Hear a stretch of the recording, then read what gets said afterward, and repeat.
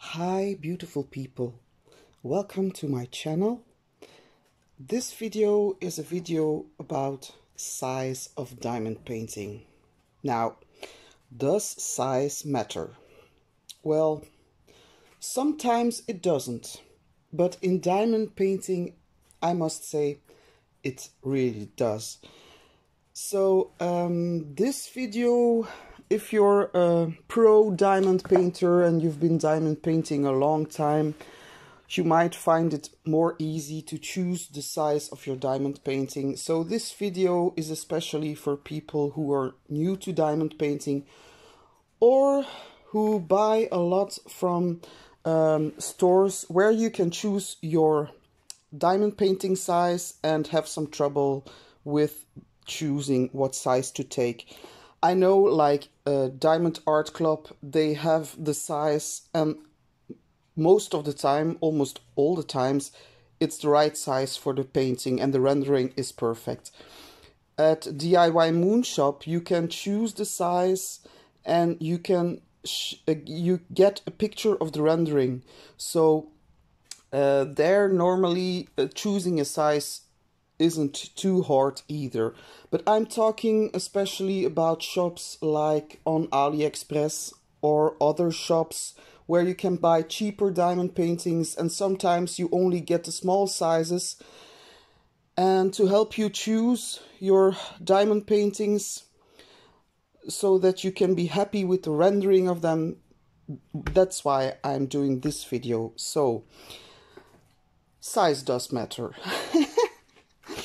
So, um, I'm showing you this by showing you some diamond paintings I've got in my stash. Of the smallest ones, I don't know where I bought them. I completely forgot. I have to check my email. Maybe I can retrace my steps. This one, the big one, I bought on AliExpress. And I'm gonna show you um, with some diamond paintings of Mucha. That's Alphonse Mucha the Czechoslovakian artist who lived in, um, he was born in 18, oh, I can't remember, but he made lots of work in the Art Nouveau style, like the style that became really um, famous in the 1900s. So, and first I'm gonna show you the small ones. So, those sorry about the glare. My overlight my head my my overhead light is on because it's very gloomy outside so so oh wait. I will put out the light because otherwise you won't be able to see what I'm saying. I'm dropping everything out. Okay so there we go. I'm sorry I have to crawl under my lazy arm. yeah, the setup is not really perfect, I know. so, this is one, a very beautiful painting, no doubt. And this is the second one. So, you might think when you see this, this is the second one. Wait, I will scoop this over just a little bit. This is the second one. Through the camera, I must say, it looks good. But these two paintings that I'm showing you, the smaller ones, are 30 by 40. So I'm gonna put the plastic back on. Will make me easier to show you. What has happened here is that they printed the picture with the details like it's supposed to be on the canvas. But let's take a look. You see how now it looks like a nose, yeah? But when you're going to diamond paint, you see, here you have another color and here you have a flesh color, I suppose. So it won't be as detailed. And I'm afraid when you do this, like this looks good now. Um, when you do this and the diamond painting is finished, you will lose lots of detail. Like now it looks really good, but there are no diamonds on the canvas. So let me check if I can show you what I mean. Like the hair here. See, I'm afraid that when you put down those diamonds, it's gonna be a big blob of nothing. Like these things are not even really visible what they are. They are supposed to be roses, but and the eye. So I don't believe that when once you do this painting that it will have the outcome that's desired of a diamond painting. And why? Because it's really small, it's rendered really small. And actually this is 30 by 40, but, but, there's a but. The canvas size is 35 by 25. So, these I bought without looking at the size of the painting and I should have done because otherwise I would never bought these. Look, I will show you. See the hand? But here the drills are too close together, I think. So this will lose lots of its details when you put your drills down. Because it's around, it might be possible that some of the picture is coming through, the background is coming through, you know, uh, in between the gaps of the drills. But I believe much will be lost in translation. Hmm. So, those are the smaller ones. Now we're gonna take a look at a big one. It's also by Mucha. And this one I bought on AliExpress, oh, I, I believe last year. And it's um, 40, 45 by 110 centimeters. And this, I believe, is a square. Because that was at that time, I was like, I want to do almost all the time squares. But I came back from that thought. So, I'm not gonna take it all the way off. And even still with this one, there will be some pixelation going on in the face. But I believe you can see my point with this one. Details are very good you will be able to see the hands once it's finished. Here, I'm not too sure what's going to happen there. So even this one might get me a little bit in trouble, but I can work around that. If the face is too pixelated, I can try to do something else.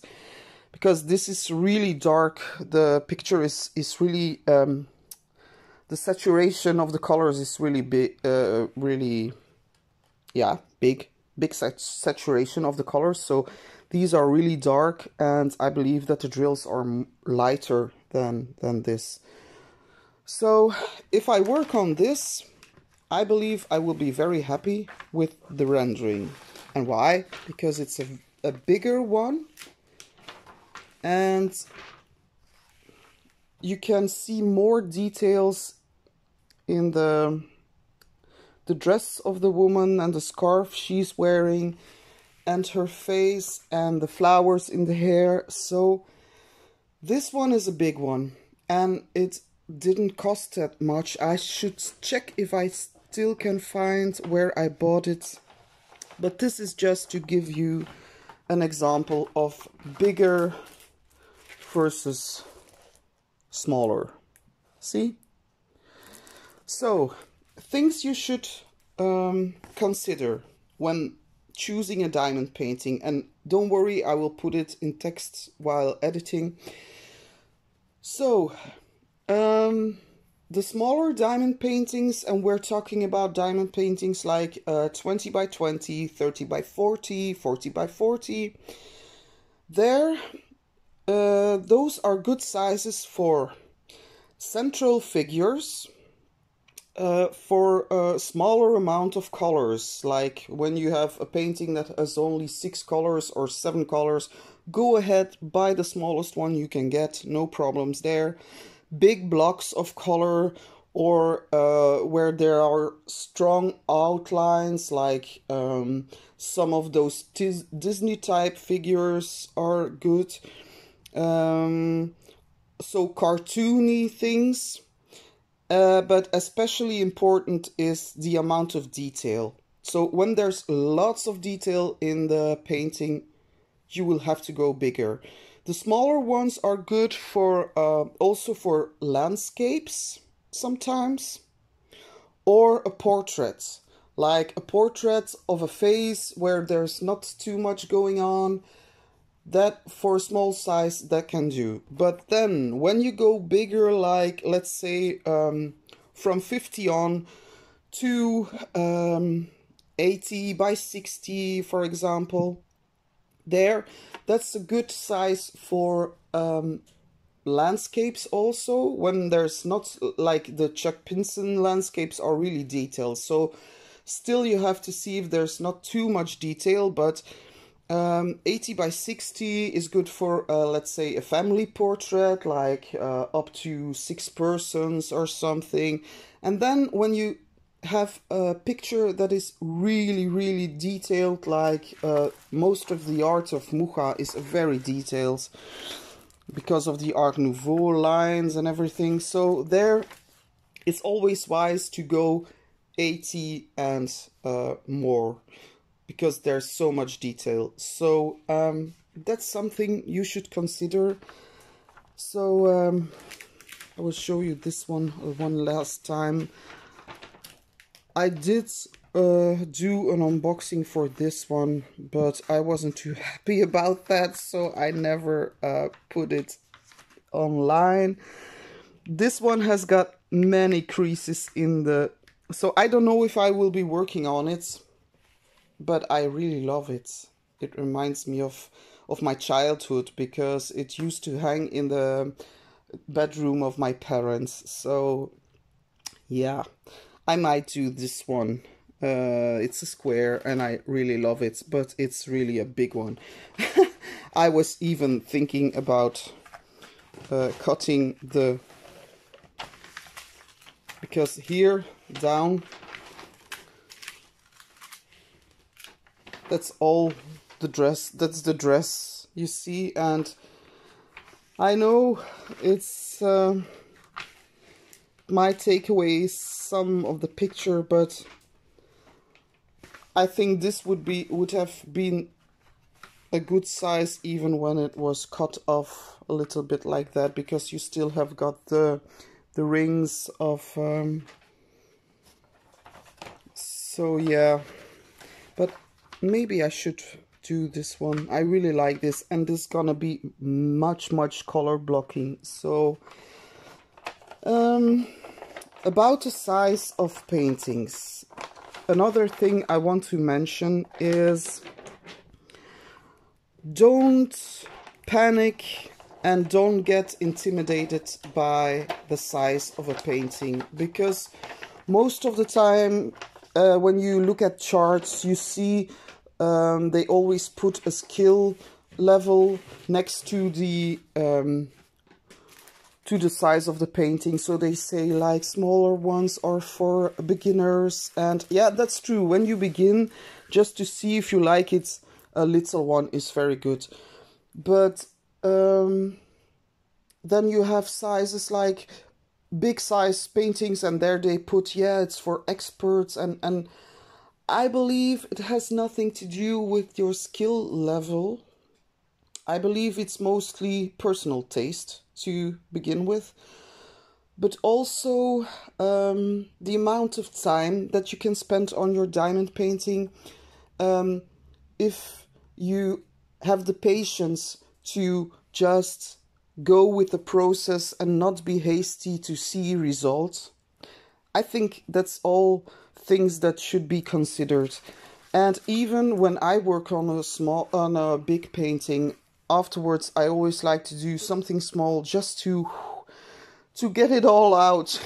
no, because it can be tedious to work on a big painting. I'm not gonna lie, but yeah, most of the time I really like the process and the fact that it it all comes together while working on it and yeah I understand that people can get frustrated and really um, halt in the middle of their diamond painting like because they're they had enough but that's why some people like to start multiple canvases I normally I don't I I'm lying right now because I've got two whips. Like I've got my Josephine Wall, but um, when it's later in the evening or I want to sit somewhere else, I'm uh, doing uh, diamond dots, uh, but it's only that big. So that's just something I do at the side. But normally I'm not a serial starter.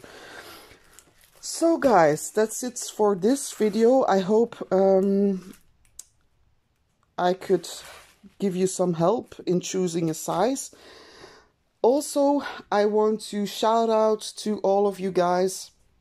So, if uh, you are a subscriber of mine, or even if you're not a subscriber but you come across this video and you have a channel of your own, please let me know in the comments because I'm really curious um, of of your works and and and sometimes I get responses like I'm working on this and on this and I really like to see what you are working on. So um, if you're a creator yourself please put your uh, put down a comment so I can go check your channel. And um, that's also a way uh, we can help each other because then when you put your uh, comment down other people can see your comments and go check your channel. So um, this is something i just wanted to get out of the way so um, in this video please if you comment let me know what you're working on or write down what your latest uh, video was about so I'm talking about crafts in general, like diamond painting. You can say I've got a crochet channel of or or uh, anything else craft re related. So please do so. I'm very curious. If you don't have a channel, no biggie. Uh, if you're working on something and you want to share, uh, you can share it on my uh, Facebook page, um, my business page, no problem.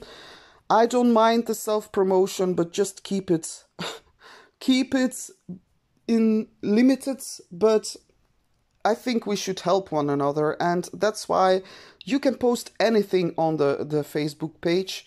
Uh, just so long that it's craft related, that you don't bully anyone, because I hate bullies.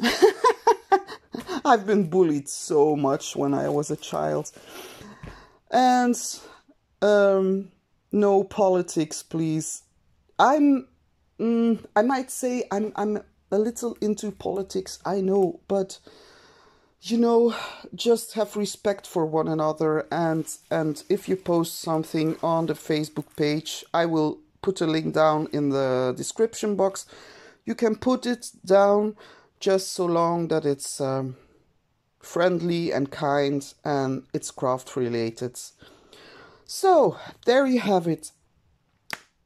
Thank you so much for watching. I hope you have a really, really wonderful day and a really good week ahead. And I hope to see you guys in my next video. Thank you so much for watching. Bye.